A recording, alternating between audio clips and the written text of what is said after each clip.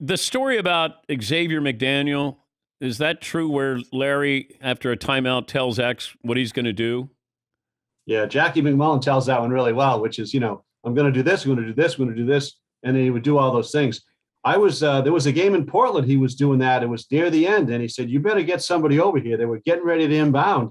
They weren't listening. He pointed, and then he took the ball. He drained a three, and then he pointed again coming off. He said, "I told you what you should have done."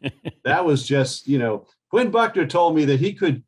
There was a game called Knockout. You know, just two guys shooting around in a gym, and Quinn said he could he could knock your ball away from the basket and make his shot with the same ball. He was playing basketball and pool at the same time.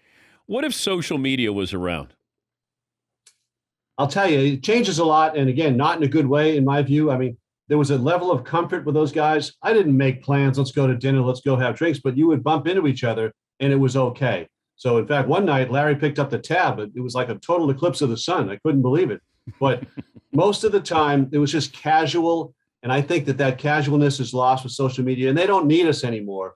I mean, we're totally yeah. Nobody wants to talk to us anymore. I understand that. They got you know social media, they got TikTok, they got whatever they got, and you know connect. They got the Players Journal, connect with their own fans, and uh, we're just now we're old guys, but back then we were all the same age, and uh, the money wasn't as great.